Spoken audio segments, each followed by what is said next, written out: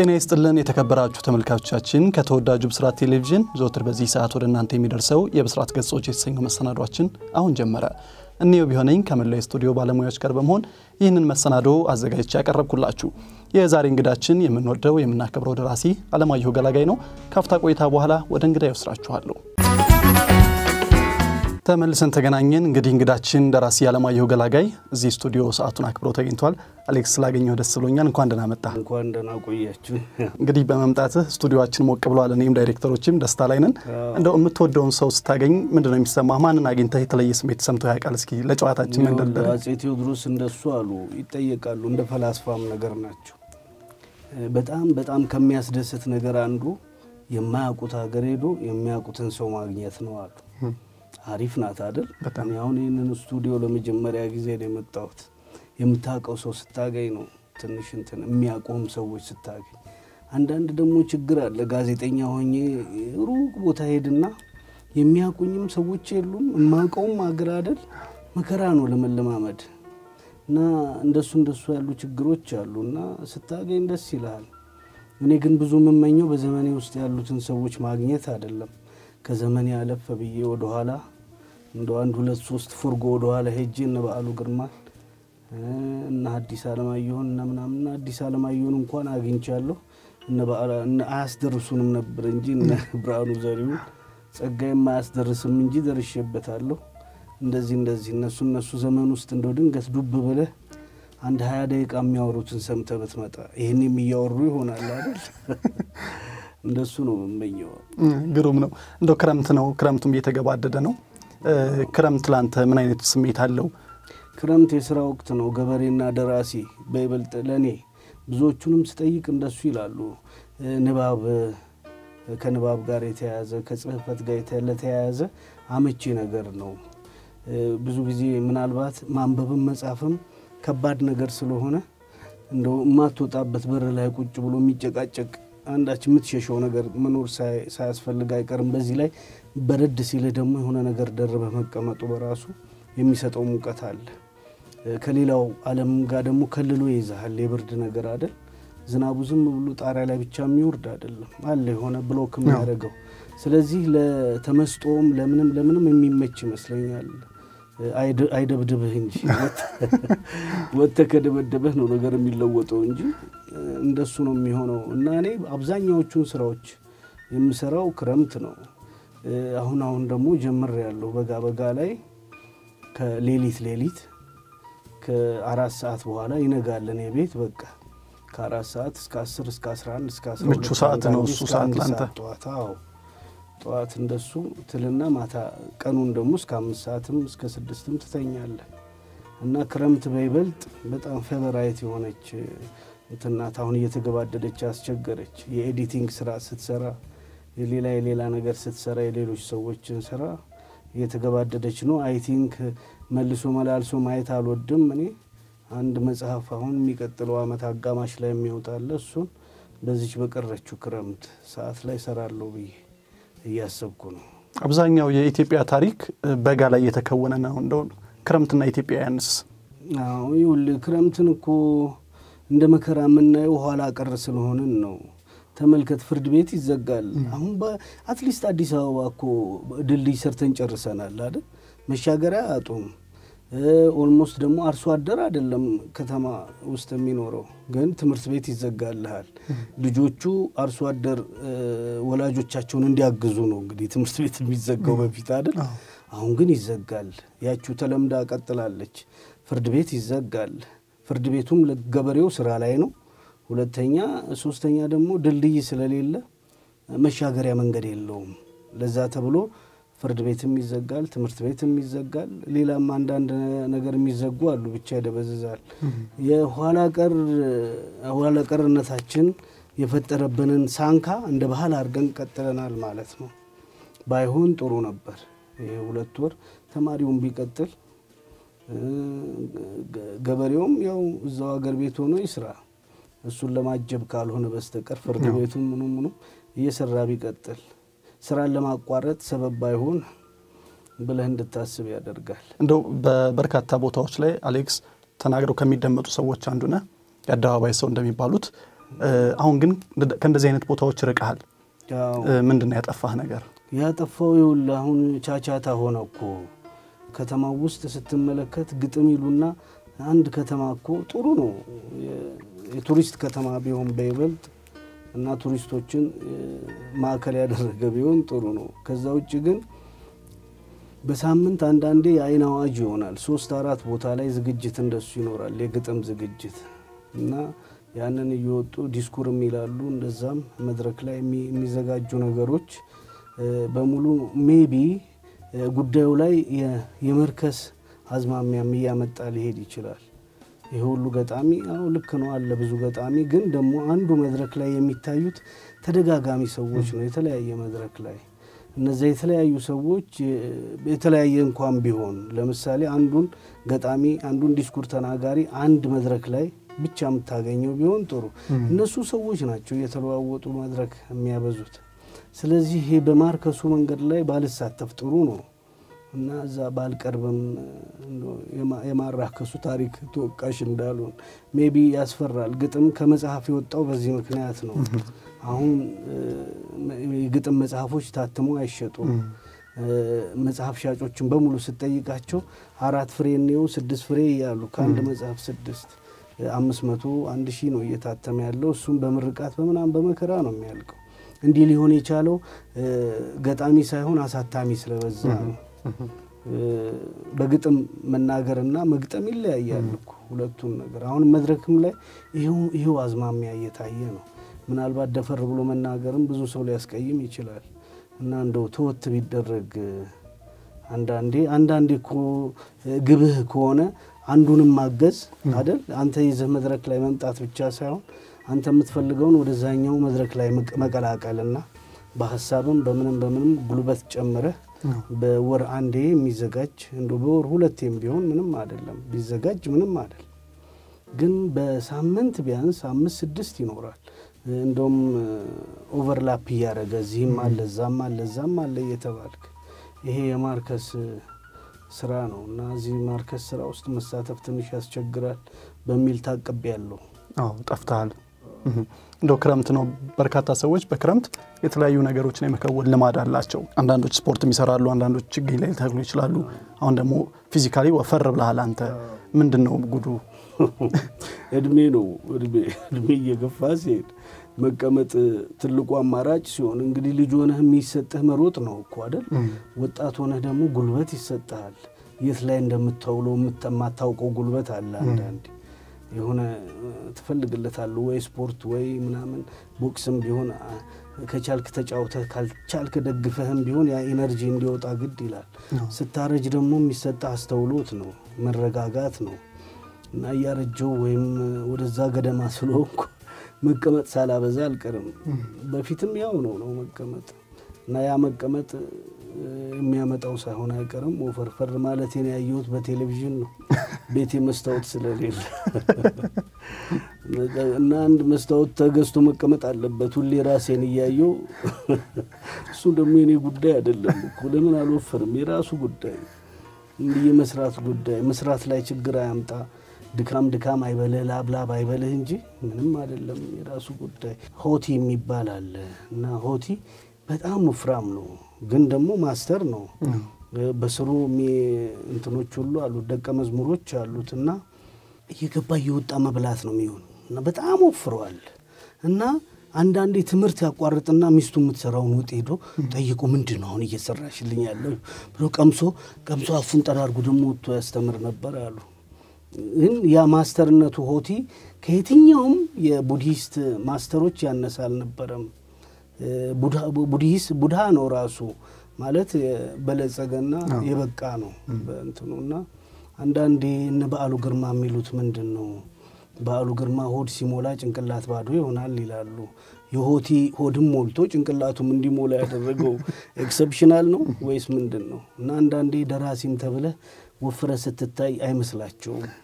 የሆነ ሹጥጥ ያለ በአስማት የቆመ ገመድ መስሎ ሲመጣ ነው ደራሲነት የሚያሟላው ተብሎ ይታሰባል። እንደሱም አይደለም እና መወፈር የኔ ጉዳይ አይሆንም። የምሰራው ብቻ አብሮ እንደ እኔ የወፈረ እዛ ነው የሚያገናኝ እሱ ነው የሚያገናኘው። እንደው ሌላው 2011ን በተለያዩ ሁነቶች ሰዎች እያጠናቀቁት ነው።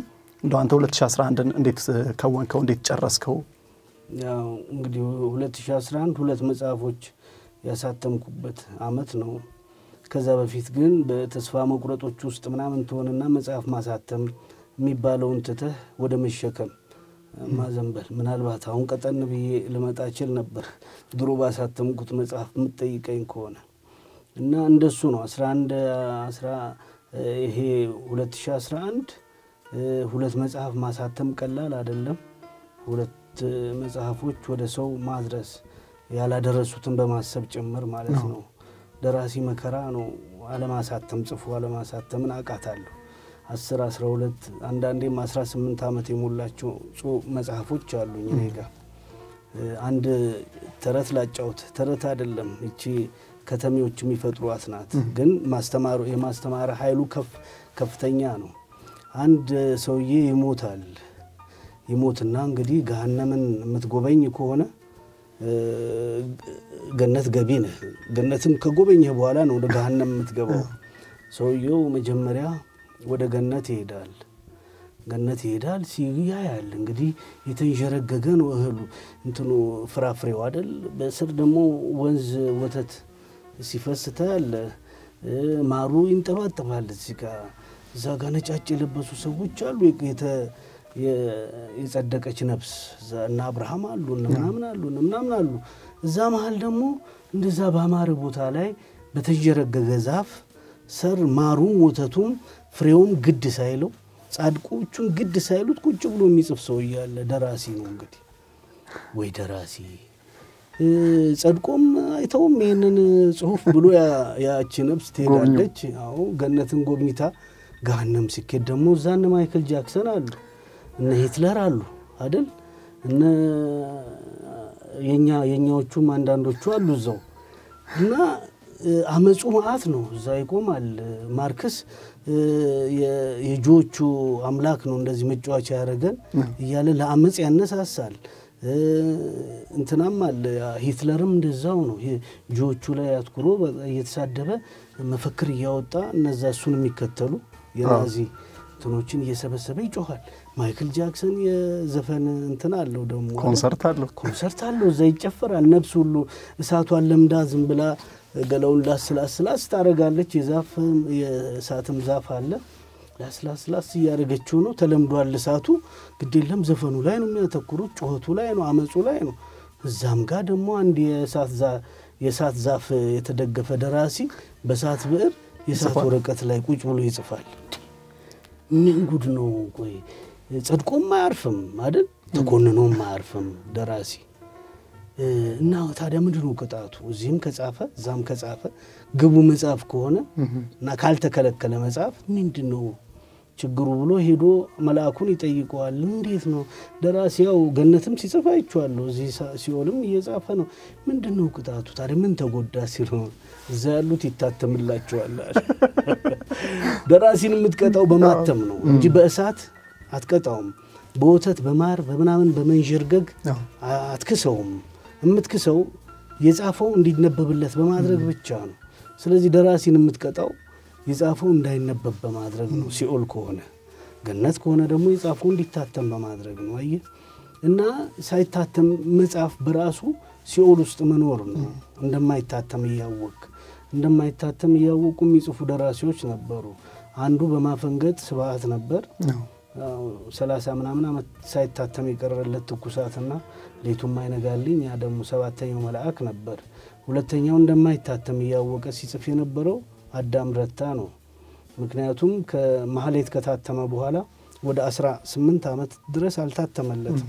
ግን በዛ መሀል produce ያደረግ ነበር፣ ይጽፍ ነበር። እንደማይታተም እያወቁ መጽሐፍ ሲኦል ነው የሚሆነው እና እንደሱ እንደሱ አላየ እና ደራሲ ቅጣቱ ይቺ ናት። የጻፈው አለመታተም ነው እንጂ እንደሚታተም ከታወቀ ሲኦሉም ሲኦል አይሆንም፣ ገነቱም ገነት አይሆንም። መነበብ ነው ጸጋው። አዎ እሱ ላይ ነው። ሁለት መጽሐፍት ደግሞ አስነበብክን። አዎ ሁለት ሁለት ሺ አስራ አንድ ላይ ሁለት መጽሐፍ ታትሟል። I think ሁለት ሺ አስራ ሁለትም ላይ ሁለት መጽሐፍ ይኖራል ብያለሁ። ይሄ የሚገፉ የሚገፋተሩ አስተያየቶች አሉ። እነሱን ላለመስማት መጠንቀቅ ነው። ሰውም ባይነግረኝ ጥሩ ነው።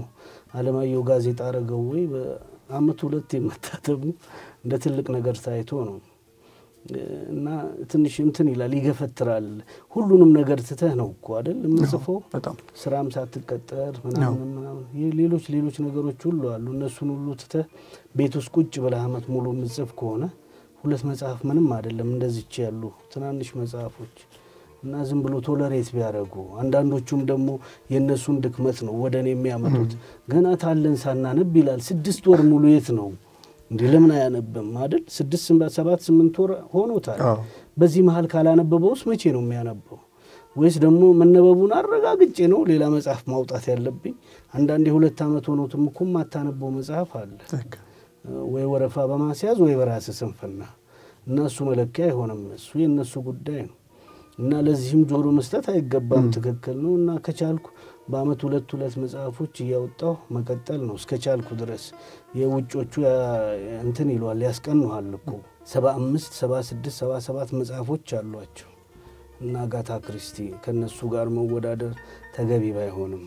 ግን የተሰጠህ ያን ያህል ሰፊ ከሆነ ሰፋ አድርገህ ምን አለበት? ብትሰጥ ምንም አይደለም። አንድ አመት ላይ ሶስት አሳትም ያለሁ ዘጠና አራት አይደለም ሁለት ሺ አራት አካባቢ እና ሶስት እንደዛ ማሳተም በዛ ተብሏል። እውነት ነው ግን ቢሆንና ምንም አይደለም። ስታልፍ እኮ በቃ ታቆሞ የለን ያኔ የታተሙት ብዛቶች ናቸው። አንተን እየገለጹህ የሚሄዱት።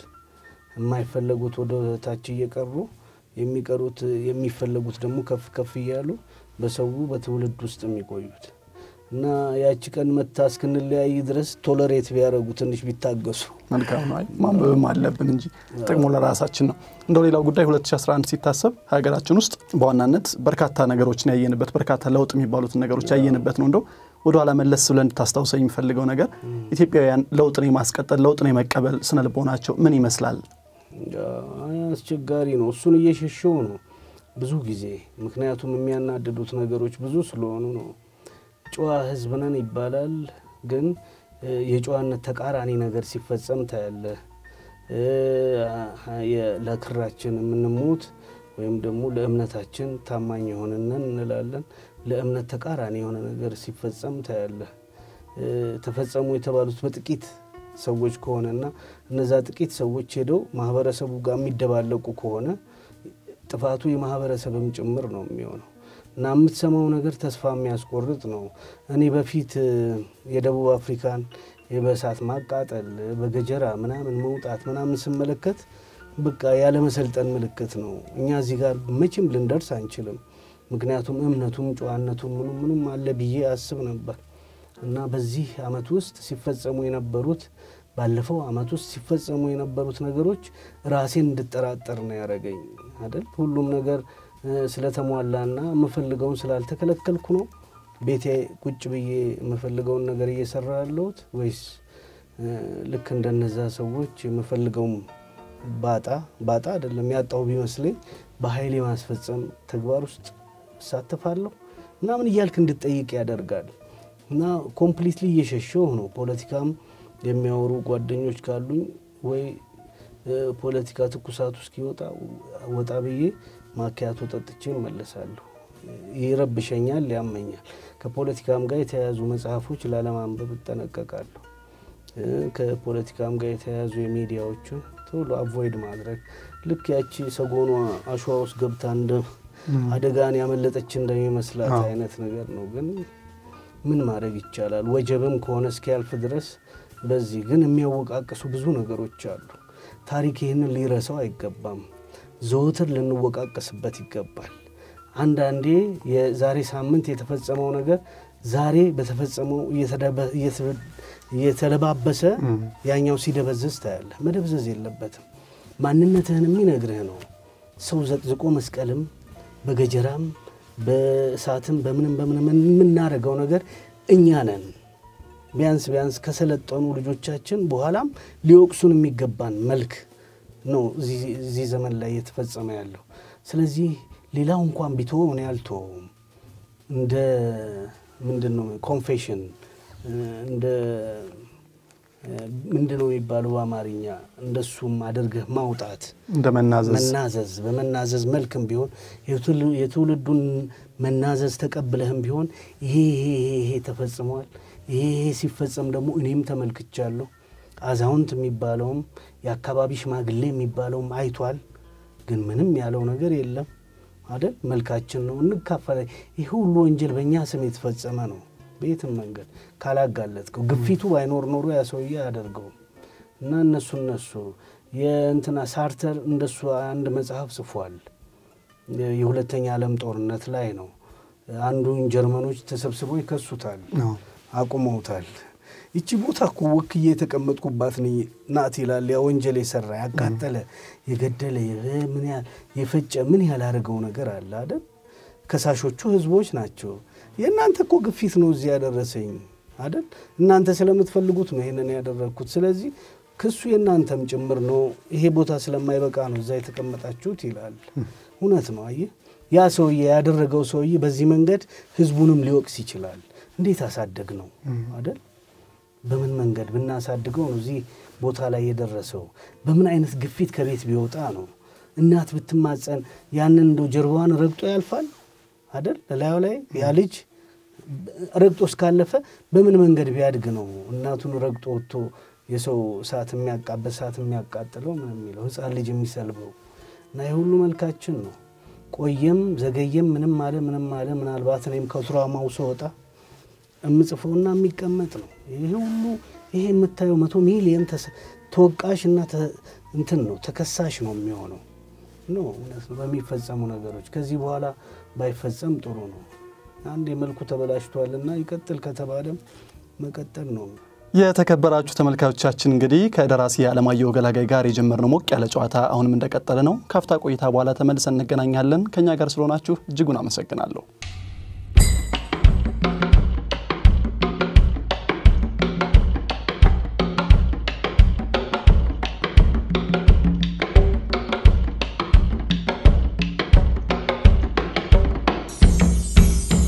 ማወቄን ጠላሁት። ያኔ ያኔ በኋሊት ምናኔ ከየኔታ እግር ስር በጨቅላነት ዕድሜ ፊደል ስንቆጥር ያን የንህፀት ልህቀት ያን የልግሰት ሹመት አስተውለው በነበር በልምጩ ሹረት ዛሬን ባውቀው ድንገት ድንገት ድንገት ድንገት በአስኳላዊ ትዕንቢት በመሃይም ትዕቢት ሆነብኝ መጨረት ሳይፈሱ መረጨት ሳይርሱ መጎንጨት። እናም ሀ በል ሲሉኝ ሃን ስላት ለበል ሲሉኝ ለን ስላት ሃም ግዕዝ ናት ለም ግዕዝ ናት እያሉ የዛገ ብስ ጣሪያ ያለቀ ድፍ ድንጋይ የሳሳ ሰሌዳ ያልፈገገ ሰማይ ባልታደሰ ሙዳይ ጠመኔው ተቀምጦ ጨዋነቴ ረቅቆ ብጥባጦቴ በልጦ ግርፋቴ ሲነግስ ከእውቀት ማማ ላይ ውድቀቴ ሲጠነስ ደብተሬ ትዝ አለኝ። ደብተሬ ትዝ አለኝ ባለ አስራ ስድስቱ ስምሽን እንደ ድር የደረድኩበቱ ትዝ አለኝ ትዝታሽ ቤተ መጻሕፍት በሚል ስውል ቤተ ልብሽ። ማወቅ ይሉት ክፉ ለሌላ ሳይሆኑ ለራስ የመትረፉ አንቺን አስረስቶ ፍቅርሽን አስቶ ሊቅነት ሲቸረኝ ልቅነቴን ሽቶ ሀገሬን የሚያሰኘኝ ከሀገሬ ነጥሎ ማወቄን ጠላሁት መማር አንቺን ጥሎ አውቀሽኝ ሀገሬን ሳላውቅሽ መኖሬን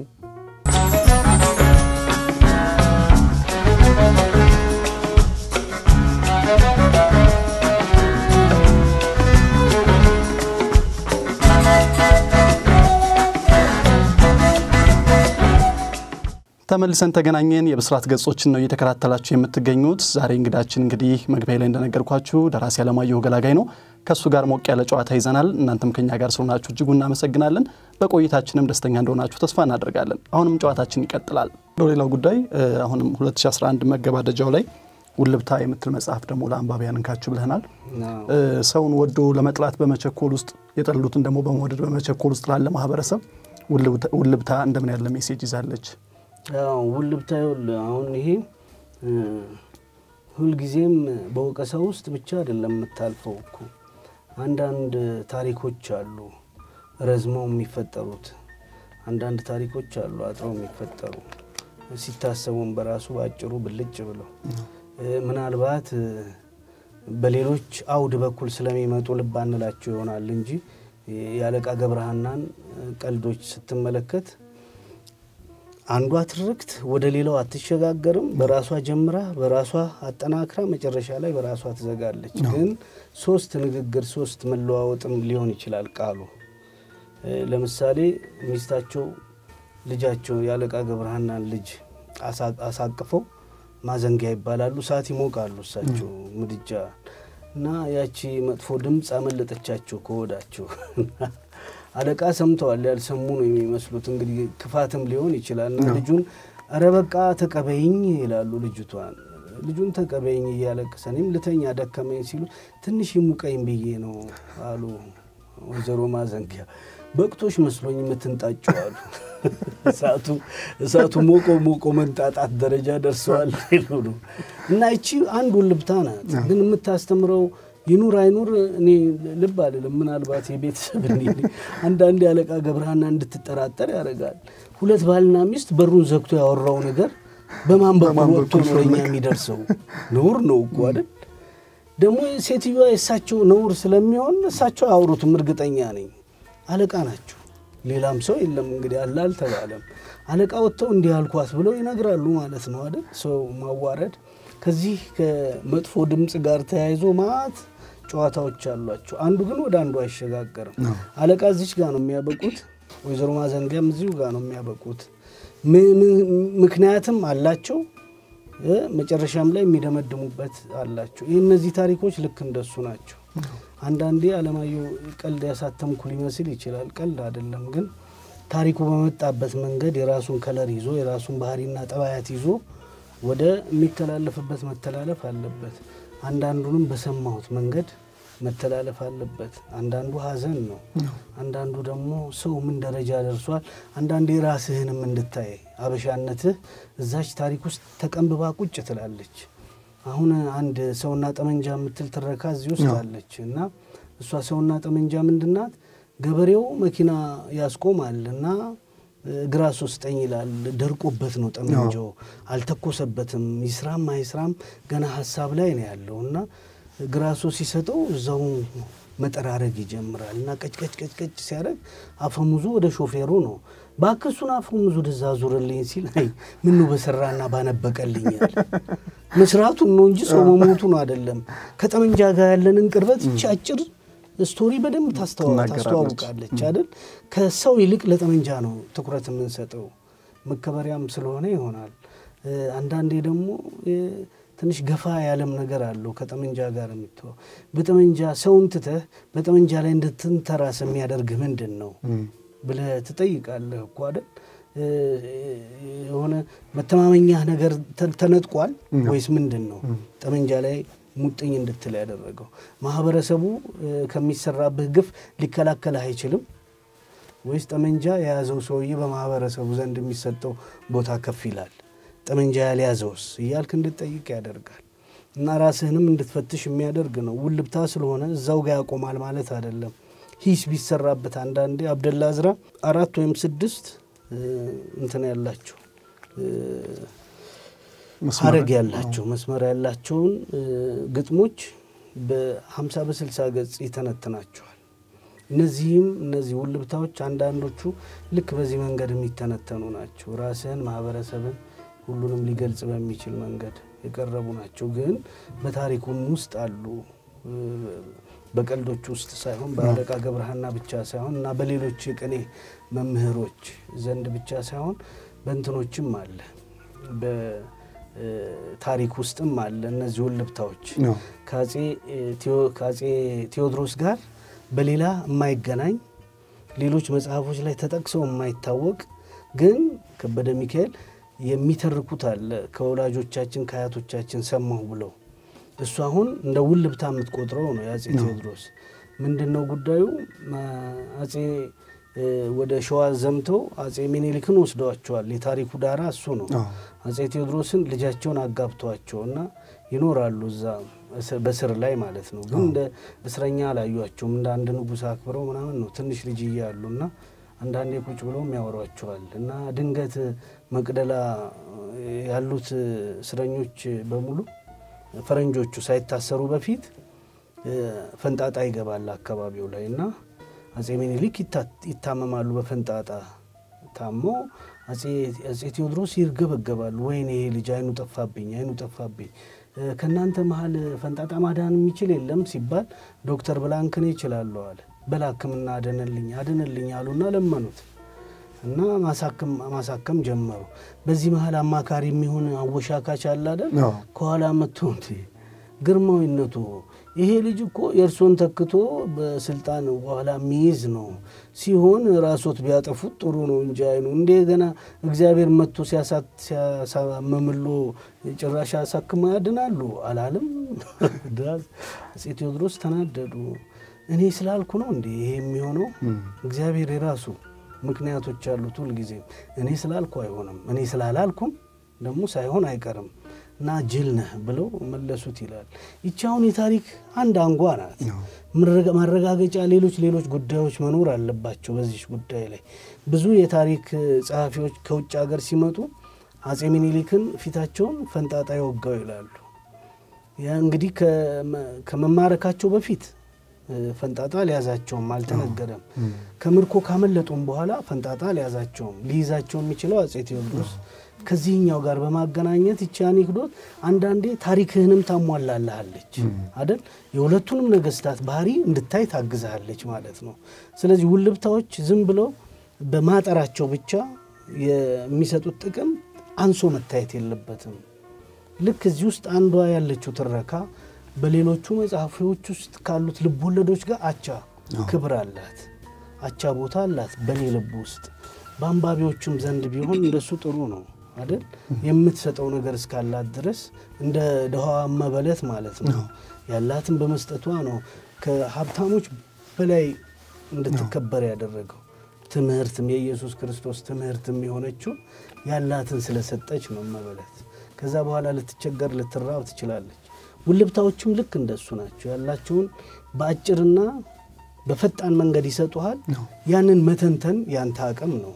መተንተን ካልቻልክ አስቸጋሪ ነው እና ትንሽ የማንበበን ብቃትና ትኩረትም ትፈልግ ይሆናል አንዷ ውልብታ እንጂ ከሌሎቹ ስራዎች ጋር አቻ ናት ብዬ ነው የማስበው። ያው ውልብታዎች ላይ ገዢ የሆነልኝ ነገር የሚገርመው ነገር ምንድን ነው? እንጎቻና ሙሉ እንጀራን ያወዳደረበት ነገር አለ። እንጎቻም በባህሪው ሙሉ እንጀራ ነው ሙሉ እንጀራ ነው በመጠኑ ከማነሱ በቀር በመጠኑ። አሁን ደግሞ ውልብታዎች በመጠንም አያንሱም። ዝም ብለህ ስትመለከት የሚያስተምሩ የእኛ ባህል እንደሱ ነው እኮ ፍልስፍናችንም ያለው እነዛ ተረቶች የሚመስሉ አጫጭር ጉዳዮች ውስጥ ነው። ከታሪኩም ውስጥ ፈንቅለን ስናወጣቸው መጥተው ልክክ ለሰብዕናችን ልክክ የሚሉት እኔ ሁልጊዜ ጠይቅ ነበር። ሰባ ሰባት ረሃብ ነው አይደል? ሰባ ስምንት ተረሳ። ሰባ ሰባት ያ ሁሉ ሰው ረግፎ እንዴት ይረሳል? ስልሳ ሁለት ምናምን ትልቅ ረሃብ ነበር። 63 ላይ ተረሳ። 1888 ከዛ በኋላም 8990 ምናምን አካባቢ ኃይለኛ ረሃብ የሶስት ዓመት ሰው ሰውን የበላበት ረሃብ ተከናውኗል። ከዛ በኋላ ይረሳል በአመቱ ምንድን ነው እያልኩ እንድጠይቅ ያደርገኛል። ምናልባት አሁን ያለንበት የድህነት አረንቋ ውስጥ እንድንገኝ ያደረገን ያንን የመከራ ጊዜ መሰረት አድርገን ያ መከራ እንዳይመጣብን አለመስራታችንም ጭምር ነው እያልክ እንድትወቅስ ያደርጋል። ግን በዚህ መሀል ደግሞ አንድ የምታስቅ ታሪክ አለች። ሴትዮዋ 1890 ምናምን አካባቢ የነበረው ረሃብ ነው ጎጃም ውስጥ እና ኃይለኛ ረሃብ ሆነ። ሰው ሁሉ ወደቀ፣ የሞተው ሞተ ምናምን አለ። በሚቀጥለው ዓመት ጥጋብ ሆነ እና በቃ ሁሉም እህሉም ረከሰ፣ እንደ ልብ ይበላል፣ ቅቤው ምኑ ምኑ ምኑ መጣ። በዛ መሀል አንዲት ሴት ምን ብላ ዘፈነች አሉ ጉንጬም ቅጣጣ አዎ ጉንጬ ያነጠነጠ ወገቤ ቅጣጣ እባክህ አምላኬ ያምናውን ቀን አምጣ። ረሃብ ልትል ነው? ረሃብን አምጣ ማለቷ ነው እንዴ? ንጉሱ ደነገጡ። ያኔ ንጉሥ ተክለ ሃይማኖት ነበሩ። እንዴ አምጡልኝ አምጡልኝ፣ የፈለገችውን ረሃብ ለሷ ብቻ እሰጣለሁ፣ በእኛ ላይ መዓት ልታመጣ ነው ብለው ዘግተው አስራቧት እና የአምናው ቀን ለእሷ ብቻ መጣ። ይቺ አሁን ታሪክ ኢትዮጵያዊነትን የምታሟላ ናት። ለካ በማግስቱ ስንጠግብ ረሃብን የምንመኝ ሆነናል። ስነ ልቦናችን ማለት ነው። የሚቀጥለውን ረሃብ አለመብላት እያለ ለምን ረሃብን ትመኛለህ? በዋስትና ውስጥ መራብ አይሻልም? በዋስትና በሌለበት በድርቅ በምን በምን ከመራብ እና ይችም ኢትዮጵያዊነትን የምታሟላ ናት። ዝም ብላ አታልፍም። ውልብታ ናት። የታሪክ ውልብታ ናት። ወደፊት አንድ ከታሪክ ጋር ቅርብ ግንኙነት ያለው ሰው እነዚህን ውልብታዎች ሰብስቦ ሊያሳትም ይችላል። የታሪክ ውልብታዎች በአጼ ቴዎድሮስ ጊዜ የነበሩ በአጼ ሚኒሊክ ጊዜ የነበሩ አይደል፣ በአጼ ዮሐንስ ጊዜ የነበሩ መዓት መዓት ውልብታዎች አሉ። አንድ ሰው በመንገድ ላይ ሲሄድ እንዲህ እንዲህ እንዲህ ሁለት ሁለት መኳንንቶች ተጣሉ። እንግዲህ የምትምለው በጌታህ ነው አይደል? የውቤ አሽከር የምናምን አሽከር ትላለህ እና ውቤ ከሌላ ጋር እየተዋጉ ነው። አሸንፈው ከመጡ በሳቸው ትምላለህ። በሳቸው እየማልክ ግን ያኛው አሸንፎ ቢመጣ ይቀጣሃል። ስለዚህ በማን እንደሚምሉ ግራ በመጋባት ላይ ያሉ ነው እንግዲህ አይደል እና በማን እንማል? ማን አሸነፈ? እከሌ ተማረኩ፣ እከሌ ሸሹ የሚልም ደግሞ ዜና ይመጣል። አንዱ ከማረከ አንዱ እንዴት ይሸሻል? ግራ በመጋባት ላይ ያሉ ነው። አንዱን ሽፍታ ይዞ መንገድ ላይ ሲደበድበው በማን አምላክ ይበል? በድብልቅልቁ አምላክ አለ አሉ። እቺም አንድ ውልብታ ናት። ከታሪክ ውስጥ ማምጣት ከእምነት ውስጥ ማምጣት ይቻላል እኮ ማስፋት፣ እንደ ልብ ወለድም ብቻ ሳይሆን ከቀልዶች ውስጥ የአለቃ ገብረሃና ተሰርቷል። እነሱ ተሰርተዋል። አረፋይኔ ሀጎስ ሰርቷቸዋል አሪፍ አድርጎ። አሁንም በቅርብ የተሰራ እንዳይቻሉ እነሱ እንደ ውልብታ ነው። አሁን የአለቃ ገብረሃና ስትባል ሀምሳ ስልሳ ገጽ አትጠብቅም። መቶ ሁለት መቶ ገጽ አትጠብቅም። ለምን ስቶሪዎቹ አጫጭር ስለሆኑ ነው። ይህንንም መጽሐፍ ስታይ ሀምሳ ስልሳ ገጽ መጠበቅ የለብህም። ውልብታ ተብሏል። ያቺ ውልብታ በአምስትም ገጽ ትምጣ በአስርም ቃል ትምጣ የራሷ ባህሪ የፈቀደላት ያጭራጭር ናት። ስለዚህ በእሷ ይዞ ለመተንተን በሚቻል መንገድ ለመተንተን መሞከር ነው የተሻለ ይሆናል ብዬ የማስበው። አሁን እዚህ ጋር የተካተቱት የውልብታ ሀሳቦች ሁሉም ሰው በማህበራዊም በፖለቲካዊ ህይወቱን በሙሉ ያሳለፋቸው የሚያጋጥሟቸው ታሪኮች ናቸው እና ሙሉ ናቸው በራሳቸው። እንደው ማህበረሰቡ የውልብታ ታሪኮችን በአፈ ቃል በቃል በመነጋገር እያዳመጠ የመጣ በመሆኑ በመጽሐፍ ሲመጣበት አዲስ ሆኖበት ሊሆን ይችላል ብዬ አስባለሁ። እንደው ይህ አጻጻፍ ስታይል ለኢትዮጵያውያን አዲስ ነው ወይ? ግን ያው አረፋይኔ ሀጎስ እኮ ሰላሳ ዓመት ይሆነዋል ከሰራው የአለቃ ገብረሃና ሌሎችም ሌሎችም አሉ። ግን ይሄ ቀልድ አይደለም። ቀልድ በሶስት ወይም በአራት የሚከፈል ነገር ነው። አንዱ ቧልት ነው የ farce የሚባለው ያለምንም ምክንያት ዝም ብሎ ሰው እንደ ከብት ሲቧርቅ እንደማለት ነው። ለመሳቅ ቀልድ መፈለግ፣ በሰው ላይ ማሾፍ ምናምን ምናምን ከሱ የሚመጡ ቀልዶች ሊሆኑ ይችላሉ። አንዳንዴ እንደ art ሲቀርቡ ግራ ያጋባል። farce ቧልታይ እየተባለ ይቀርባል። ኮሜዲ ግን ቁጭ ብለህ አዳምጠህ ስቀህ ስቀህ በመሳቅህ የሚጸጽትህ ቁጭ ብለህ ስታብሰለስለው ለካ የሚያስቅ ሳይሆን የሚያስለቅስ ነው። አስቆ አስቆ በኋላ የሚያስለቅስ ነው ኮሜዲ የሚሆነው። አንዳንድ ደግሞ አለ practical jokes የሚባሉት አይደል? ልክ ተነስተህ የሆነ ነገር ሰርተህ ስትመጣ ይችን ወንበር እንደ መሳብ፣ አንተ ስትወድቅ መሳቅ። ይሄ practical joke ለትልቅ ሰውም የማይሆን ትናንሽ ልጆችም ሲጫወቱ ልትቆጣቸው የሚገባ እንዲህ እንዲህ ነው። በሰው ላይ በስሙም በምኑም በምኑም እያሾፍክ ተደብቀ የሴት ድምፅ አድርገህ ሴት አድርጎ ሰውዬው እየተናደደ ሲናገር መሳቅ ነው፣ ሌላ አይደለም። ሰው አዳልጦት ሲወድቅ መሳቅ። እነዚህ እነዚህ ተፈጥሮ ውስጥ ያሉ ነገሮች ናቸው። ግን የበሰለ ሰው ባይጠቀምባቸው ጥሩ ነው። እዚህ ውስጥ ቧልት የለም። practical joke የሚመስልም ነገር የለውም። እንደ ኮሜዲ አንዳንዶቹ የሚያስቁ ናቸው። ግን ስቃህ አታበቃም። በሚቀጥለው ጥያቄ click ያደርጋል ጭንቅላት ላይ። ስለዚህ እንደ ቀልድም ሊታዩ አይገባም ማለት ነው። እንደው በቀጣይ ደግሞ ሌላ በርካታ መጽሐፍቶችን እንጠብቃለን። አሌክሴ ቃልንም እየጠበክ ነው እስካሁን ድረስ? ቃል ብቻ አይደለም እኮ አንዳንዴ ባለህ ነገር ላይ ነው እቅድ የምታወጣው አይደል? ልክ እንደሱ እቅድ ማውጣት ነው። አሁን የሚቀጥለው ዓመት አጋማሽ ላይ የሚወጣ መጽሐፍ አለ። እርግጥ ነው በቃ እሱ የሚቀጥለው አማራጭ እነዛ የሚከፉ ወዳጆቼን ለማስከፋትም ጭምር በደንብ እያከታተልኩ ባወጣ ጥሩ ነው እና የሚቀጥለው ዓመት ላይ ይወጣል። ያኛው ትንሽ serious ነው፣ ጠነን ያለ ነው፣ ሁላችንንም የሚያጠያይቅ ነው። በፍቅር ስምና በእውነት ስም ተከታዩ በእምነት ስም ነው ይሄኛው። እምነት ከሆነ ደግሞ ኢትዮጵያዊነትን የሚያ- የሚያጠያይቅ ደረጃ ላይ የሚያደርስ ነው ብዬ አስቤያለሁ። ምክንያቱም የተጻፈው ከዛሬ አስራ ምናምን ዓመት በፊት ነው። ግን በቃ ስመለከተው ሌሎች ሀገሮች ያላቸው መጠጊያ እኛ የለንም። ከእምነት ባሻገር እምነትን ሸሽተህ የትኛው ጥጋት ነው የምትቀመጠው? ግን ደግሞ አንዳንዴ እምነትም ሊያስጥልህ የሚገባውን ሳያስጥል ሲቀር ታየዋለህ። ስራውን ሳይሰራ ሲቀር አይደል? አንተ ምንም አርግ ምንም አርግ ድሮ ገለህም ቢሆን ሄደህ ጅባታ ነው የሚባለው የሆነ ትጠይቃለህ፣ ሙጥኝ ትላለህ። ዛፍ እንኳን ሙጥኝ ካልክ አላቆ ሰውየው አይደበድብም። አሁን ግን አለ። የእምነት ቦታዎች ውስጥ ሮጠህ ስትገባ የእምነት ቦታዎች ውስጥ ድረስ ውስጥ ድረስ ተከትሎ የሚደበድብህ ለዚህኛው የእምነት ሕግ የማይገዛ እምነቱን ቦታ ላይ ያስቀመጥካቸው መሀል ገብተው እኔን ግደል የማይሉ ተደብቀው የራሳቸውን የሚያሻምዱ ሆነው ታያለህ። so መጠጊያ ሳይኖረውም እየኖረ ነው ማለት ነው። እና የእምነት ጉዳይ የግድ የግድ አይደለም የሚል ድምዳሜ ላይ እንድደርስ ነው ያደረገኝ። ስለዚህ የሚቀጥለው ዓመት ላይ እሱ ይወጣል። አንዳንድ ጓደኞቼ ተቀባብለው አንብበውታል። እንደ እንትን የሆነችውን እንደ synopsis እንደ synopsis አለ እንደ sketch የሆነችውን እንትን ብላለች። ያቺ sketch ምናልባት እኔ ካለፍኩ በኋላ ሌሎች ሰዎች ሊያሳትሟት ይችላሉ። በሱ መሰረት ላይ ተደርጎ ግን የተጻፈ ልብ ወለድ አለ። የሚቀጥለው ዓመት ላይ ይወጣል። I think ልክ አልበርት ካሙ እንደሰራው ማለት ነው። አልበርት ካሙ Happy Death የምትል አንድ sketch መጽሐፍ አለችው። ያቺ sketch መጽሐፍ የታተመችው እሱ ከሞተ በኋላ ነው። ግን ያንን አሻሽሎና አስተካክሎ በሌላ ምንድን ነው በሚል ርዕስ አውጥቶታል። Outsiders በሚል Outsiders በሚል አሳትሞታል። እቺ ግን Happy Death እሱ ከሞተ በኋላ የታተመች ናት። sketch ናት፣ ግን የራሷ ጣዕም አላት። የኛውን መጽሐፍ የማትወክል ናት ዝም ብለህ ስታያት። እሱ ግን በእሱ ላይ ተመስርቼ ጥሩ መጽሐፍ ስላቀረብኩ ትቼዋለሁ ብሏል አይደል? ሲሞት ግን አሳተሙት ሃፒ ዴይዝን። ይችኛውም አሁን ጓደኞች የተከባብለው ከአስር ዓመት ከአስራ ምናምን ዓመት በፊት እየተቀባበሉ ያነበቡት ወደፊት እኔ ካለፍኩ በኋላ ሊታተም ይችላል። እስከዛ ግን በሱ መሰረት ላይ ያለው የሚቀጥለው ዓመት አጋማሽ ላይ ይወጣል ብዬ እ፣ ወስኛለሁ።